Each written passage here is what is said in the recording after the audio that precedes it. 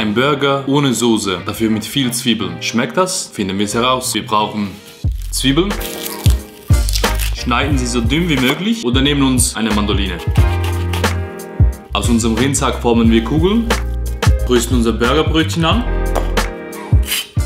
bisschen Öl, smashen unsere Burger, gut salzen und pfeffern. Obendrauf legen wir unsere Zwiebeln, bisschen Zucker zum Karamellisieren und wenn sie schön braun gebraten sind, fast schon verbrannt, wenden wir sie. Obendrauf kommt unser Schmelzkäse und unser Burgerbun.